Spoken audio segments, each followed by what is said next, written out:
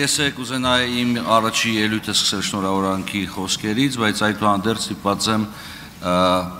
խոսել այն հարցերի վերաբերյալ, որոնք այստեղ բարձրացել են վարման կարգի վերաբերյալ։ Այո, падգամավորը ունի անձնամխելիության իրավունք, որը պետք է հաղթահարվի։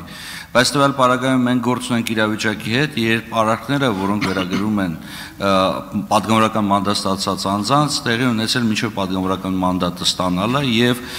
որպես տեխնացու նրանց անձնամխելիությունը հաղթահարվել է կենտրոնական դրական հանձնաժողովի համապատասխան որոշումներով։ Ես ես կնդրում եմ ավարտեմ Ես որևիցե բան չեմ բացառում, բայց այդուհանդերձ հարգելի գործընկերներ, մենք այստեղ բոլորս պարտավոր ենք ըստ էության ապահովել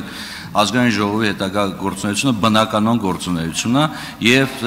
ես կառաջարկեի, որպեսզի մենք հնարավորություն ընձեռնեինք նախագահային, որպեսզի նախագահ նախագահողը, որպեսզի նա կարողանար ձևավորել ազգային ժողովի մարմինները, որից հետո կարելի է քննարկել ցանկացած հարց, այդ թվում հարցեր, որոնք կապված են մեր առօրյա գործունեության հետ։ Ես պետք է նշեմ նաև հարգելի գործընկերներ, որ ազգային ժողովը բացառապես առաջնորդվելու է իր լիազորություններով եւ ազգային ժողովը որևիցե եղանակով չի կարող ազդել արդարադատության համակարգի կամ որևիցե եղանակով չի կարող ավելի բարձր դասել իրեն, քան Հայաստանի Հանրապետության դատարանի կողմից կայացած որոշումը։ Սա է իրավիճակը, ես խնդրում եմ ավելի կոնստրուկտիվ գտնվենք, հա, հետևենք եւ ամենայն հայոց կաթողիկոսի հորդորներին եւ հանրապետության նախագահի հորդորներին եւ պարոն Հասանովի հորդորներին ձևավորենք ազգային ժողովի մարմինները եւ անցնենք բնականոն աշխատանքին։ Շնորհակալություն։ Ժողով հարգելի падգամավորներ, ես խնդրում եմ վարման կարգն ավարտենք, անցնենք շարունակենք։ Դե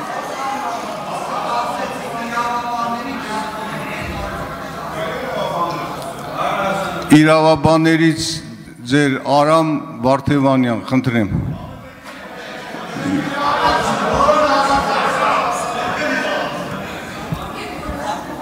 Տիկնայք եւ պարոնայք, ես իրականում մեծ ցավ եմ ապրում, որ Վլադիմիր Վարդանյանը քաջ գիտակցելով համանadrության 96-րդ հոդվածը, որը պատահական չի, որ որևէ բացառություն չի նախատեսում, որևէ այլ մեխանիզմով падգամորի անձեռմխելիություն հաղթահարելու, խոսում է նրա մասին, թե կարող է մի դատախազ մի դատավոր շրջանցել Հայաստանի Հանրապետության համանadrությունը Ես զուտ ուղակի մի բան եմ ուզում ասել, որ եթե նման նախադեպ ստեղծվում է, հնարավոր է նույն օրինակ վաղը ձեզանից յուրաքանչյուրը չլինի ազգային ժողովի նիստերի դալիճում, առանց անձեռմխելիության աղթարման ուղակի լինի կալանավորված։ Ես ուզում եմ զուտ ֆիքսենք, որ մեր գործընկերները, պարոն Զաքարյանը, պարոն Սարգսյանը, ոչ թե բացակայում են, այլ պատանդի կարգավիճակում են։ Այդ մարդիկ ուզում են գալ նիստին ներկա գտնվել, ոնց դուք եք ներկա։ Բայց իրանց թույլ չեն տալի։ Իրանց թույլ չեն տալի բոլորի սեղանին դրած այս սահմանադրությունը ոչ թե խախտելով, այլ տրորելով։ Ու եթե ինչ որ մեկը կա, որ կարա ասի, падգամավորին առանց ազգային ժողովի համաձայնության կարան կալանավորեն, թող ուղակի իր աբանությունից չխոսա։ Պարոն Վարդամանյան, ձեր հարցը Վարման կարգով, պարոն Վարդանյանին եւ սրանով ավարտենք ժողովուրդ։ Լավ, լրություն, պարոն Վարդանյան։ Ես շատ քաջատեղյակ եմ եւ շատ լավ ծանոթ եմ համարության 96-րդ հոդվածին 1 Այո, որևիցե մեկը, որևիցե պետական մարմին չի կարող վերազանցել իր լիազորությունները։ Խնդրեմ հարգանքով վերաբերել դատարանների որոշումներին, ոչ թե միայն այն դեպքերում, երբ որ դատարանի որոշումը ձեռնտու է ձեզ կամ կամ հաճելի է։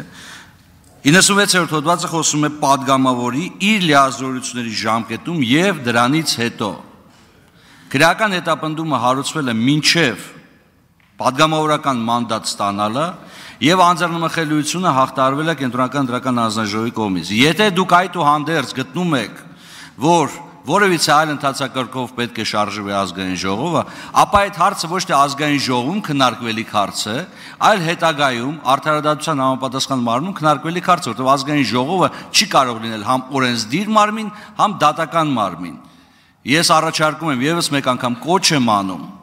ճանրադառնալ մեկս մյուսի գրագիտությանը, Սա հորդոր է եւ պահանջ եւ երկրորդ առաջարկում եմ վերադառնալ կառուցողական հուն փորձել ձևավորել ազգային ժողովի մարմինները եւ ի վերջո չմոռանալ հարգելի գործընկերներ, որ Հայաստանի Հանրապետության քաղաքացին մեզ այստեղ է ուղարկել, որպիսի մենք կարողանանք աշխատենք, այլ ոչ թե փորձենք փոխադարձ մեղադրանքներով գնալ առաջ։